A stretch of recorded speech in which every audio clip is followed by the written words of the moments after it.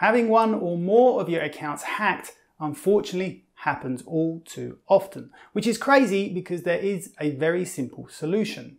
Two-factor authentication, or 2FA to use the abbreviation, is your best protection against your accounts being hacked. Even if you were to use password 123 as the password for most of your accounts, which you really shouldn't do, with 2FA enabled, it's still highly unlikely your account will ever be hacked. And here's why. 2FA adds a second level of authentication when logging into your accounts. Compare it to opening a bank account. When you open a bank account, you usually have to provide two forms of identification, say your driver's license and a utility bill. The same is true of 2FA. With 2FA enabled, when you log into one of your accounts, you have to provide your credentials plus the 2FA code. The code is commonly six digits and can be provided in several ways. You can use a 2FA app, or it can be sent via SMS or in the case of Apple, for example, it will appear on screen on one of your devices.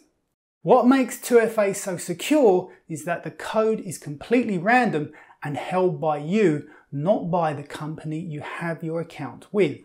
So whilst data breaches do frequently occur, often exposing millions of customer account details, even if a hacker were to get hold of your username and password, they would still need your 2FA code to access your account. And believe me, once they see you're using 2FA, chances are they'll immediately give up and move on to an easier target. So how do you enable 2FA on all of your accounts? Well, the first step is to get yourself a 2FA app. The second step is to link your app with all your accounts. And thirdly, and very importantly, you need to back up your 2FA app because if you lose access to your codes, you lose access to all of your accounts as well. So let's run through each of these steps individually.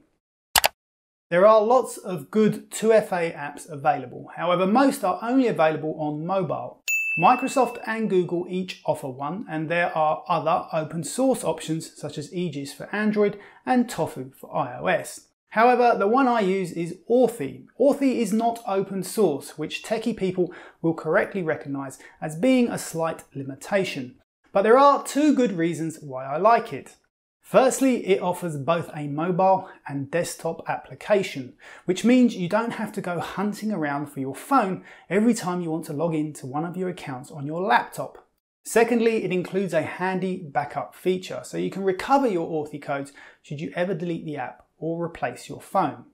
I won't go through installing Authy in this video. I have separate videos explaining exactly how to install both Authy and Microsoft Authenticator, which I'll link to below. However, once you have installed your chosen 2FA app, you'll have a similar screen to this and you'll be ready to link your first account. So let's go through setting up 2FA on some popular websites and apps. Most well-known companies and popular apps these days offer the option of enabling two-factor authentication. However, as I mentioned earlier, some of these companies don't require you to use an actual 2FA app, as is the case with Apple and Google. You can enable 2FA on your Apple account by browsing to appleid.apple.com, logging in and scrolling down to this section here. Once enabled, rather than using an app, Apple will simply display the code on one of your Apple devices, whether that be your phone or your Mac computer. Google does a similar thing. You can enable 2FA on your Google account by browsing to account.google.com or if you're already logged in, you can simply click on your profile icon and choose Manage My Account. You'll find the option to enable 2FA under Security.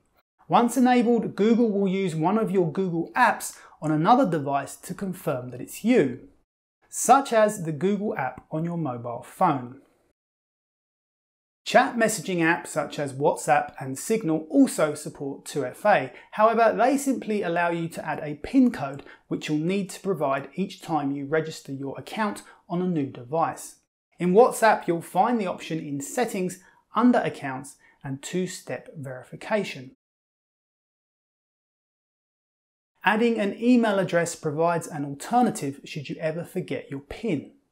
In Signal, click on your profile icon in the top left corner of the app, choose Account, followed by Create a PIN. Having created the PIN enable registration lock so that the PIN is required to access your account on a new device. Amazon offers two options for two-factor authentication, either by receiving an SMS each time you log in or by using an app. Where you have this choice, it's always recommended to use an app rather than an SMS. For one, it's a lot easier to steal your SIM card to receive an SMS than it is to access your phone to get to your 2FA app. Secondly, SMSs are sent unencrypted in plain text, which is never a good thing. When linking one of your accounts with a 2FA app like Authy, scanning a QR code is the common approach. In Authy, simply click on Add Account followed by Scan QR Code. This will activate the camera in your phone which you can use to scan the QR code displayed on the site. Having scanned the code, Authy will look for the logo of the company you are linking to, which in this case it's unable to find, so I'll use a colour instead. And then all we need to do is provide a name for the account. Once complete, Authy will now start generating a six digit code specific to my Amazon account. To complete the link between Authy and Amazon, I just need to enter this code and that's it. Two-factor authentication is now enabled on my Amazon account. If I sign out and log back in, you can see I'm prompted for the code and I simply need to enter the current code shown in my Authy app. It's a similar process on Facebook. Log into your Facebook account, open the drop down menu in the top right corner of the window and choose Settings. Choose Security and Login, scroll down the page to two-factor authentication and click on Edit. As with Amazon, you have the choice between using an app or an SMS. Choose App, scan the QR code in Authy, and then enter the six digits displayed in the Authy app. In situations where you're enabling 2FA on an account on your phone, such as here on Instagram, scanning a QR code isn't an option. So to set up 2FA on your Instagram account, click on the menu icon in the top right corner of the app, choose Settings, followed by Security and Two-Factor Authentication. Now because we're using our phone, instead of scanning a QR code, we're going to choose Set Up Another Way and then copy the key. In Authy, this time we'll choose Enter Key manually and paste the key here on this line. Again, we go through the process of finding the Instagram logo, naming our account, and finally, to finish the process, we simply need to enter the most recent code generated by Authy into Instagram. It's worth mentioning that having set up 2FA, most sites and apps will provide you with a list of codes. These codes act as an alternative to the 2FA code should you ever lose access to your 2FA app. I recommend keeping these codes backed up in a safe place. Now that you have all your accounts protected using two-factor authentication, it's a good idea to back up your 2FA app. To do that in Authy, all we need to do is click on the settings icon in the top right of the app and choose accounts in the bottom menu. We'll then enable Authenticator backups, create a password, and that's it. We can be safe in the knowledge that our 2FA codes are now backed up and all of our online accounts are protected from being hacked.